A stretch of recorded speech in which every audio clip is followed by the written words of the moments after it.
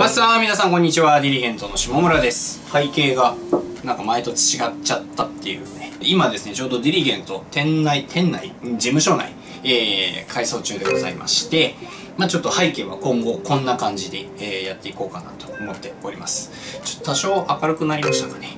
はい、えー、ちょっとね、撮影環境も徐々にこうグレードアップしていこうかなとか考えているんで、えー、引き続きご視聴の方よろしくお願いいたします。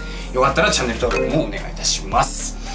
はい。というわけでですね、えー、今回はエリートの続きでございます。はい。まあ、こちらのエリートですね。えー、前回の、動画ですと、えー、このエリートのパッドですね。まあ、なんか四角が8つ、8個あるんですけども、このパッドにはモードが12個あります。この12個のうちの4個を前回紹介したんですが、まあ、今回は、えその続きです。え5個から8個目までをちょっと紹介したいなと思っております。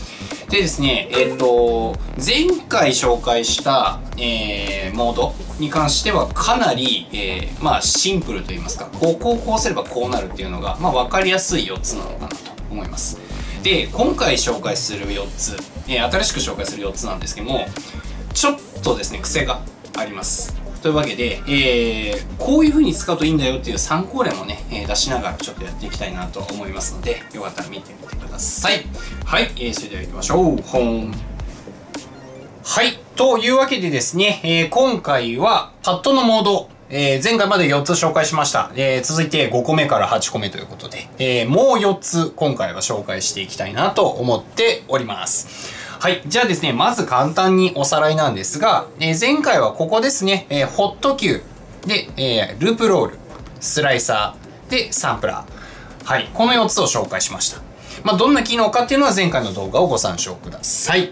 で、えー、今回は、えー、この、えー、ホット Q、ループロール、スライサー、サンプラーと、まあ、4つモードを選択するボタンがあるんですが、これをですね、もう1回押すとこのオレンジ色になります。これも同じです。青の状態からオレンジ。青からオレンジ。青からオレンジ。はい。まあ、こんな感じに青色とオレンジ色があるわけなんですけれども、このオレンジの状態を今回は、え、説明していきたいなと思います。はい。ではまず、えー、オレンジの状態のモード、えー、こうパッと、えー、ミキサー見てどこで確認すればいいのっていうことなんですが、ここです。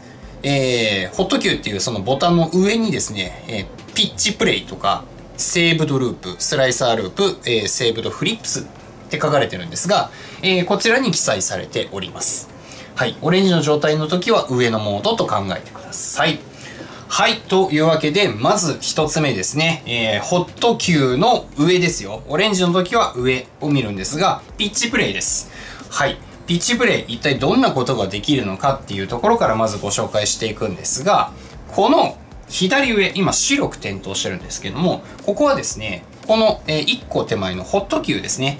このホット球が、え、割り当てられています。一番初めはこの赤1個目ですね。これが、え、割り振れ、え、割り振られていて、まあ、こんな感じに赤でトリガーしてるんですけども、例えばちょっとずらしまして、はい。じゃあここで、えっ、ー、と、ホット球ですね。ホット球の状態です。ホット球の状態で1個打ちました。で、オレンジでここ。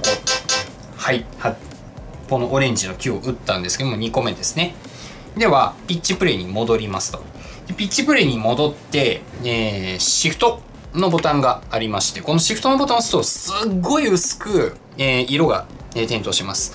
この点灯してる状態で、その点灯した、え、もの、え、オレンジに今しました。オレンジにすると、ここが、そのオレンジの Q になります。で、これを赤にじゃあちょっと戻しましょう。赤にすると、赤でトリガーします。はい。まあ、これが、えー、一つその、どの Q を使うかっていう設定なんですが、その設定した Q からどんなことができるかっていうと、ここから音階をつけれます。もう一回戻りますよ。で、戻って、じゃあちょっともう一回行きましょうか。はい。で、また戻って、じゃあ今度下げていきましょう。はい。こんな感じにですね、えー、ピッチ、えー、つけることができます。要は音階つけれますよっていうものですね。その設定した Q から、えー、音階をつけて、えー、いわゆる、えー、トーンプレイだったりとか、えー、そういったことができるようになっております。かなり、えー、簡単にトーンプレイができる、えー、ことになるので、まあ、ちょっと特徴的なフレーズとかを覚えておいて、これで、えっ、ー、と、まあ、相性の良さそうな、えー、単音とかですね、あのー、まあ本当に P とか、えー、ちょっともうその曲中の中でも音数が少ないところ、音数が少ないところとかで、えっ、ー、と、一回 Q を、Q 打っておいて、そこでトンプレイするとか、えー、すると、えー、面白いパフォーマンスできるんじゃないかなと思います。はい。もちろん単音とかね、えー、ロードしてそれを使うっていうのも手だと思いますね。はい。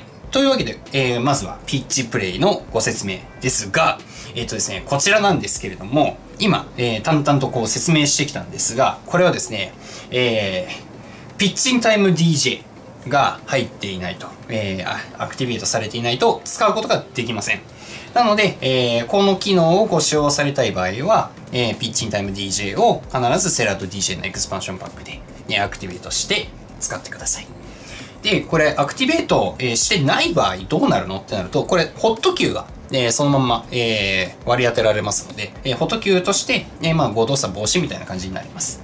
はい。必ず、えー、セラート DJ プロの中で、えー、ピッチンタイム DJ をアクティベートしておいてください。というわけで、えー、ピッチプレイの説明でした。